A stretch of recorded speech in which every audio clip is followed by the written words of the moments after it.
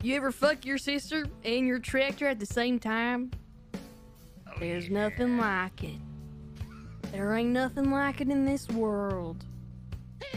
And I'm on my way to find my sister so I can hold her tight. Me and my sister hold each other's hands. And not in a way that we would when we're brother and sister. I'm talking sexually. Cause me and my sister are lovers. Just like my tractor. Cause I love my tractor like I love my sister. And I mean it sexually. Yeah. Sometimes I take my tractor to Hayes Auto and I put a wrench in the tractor and I turn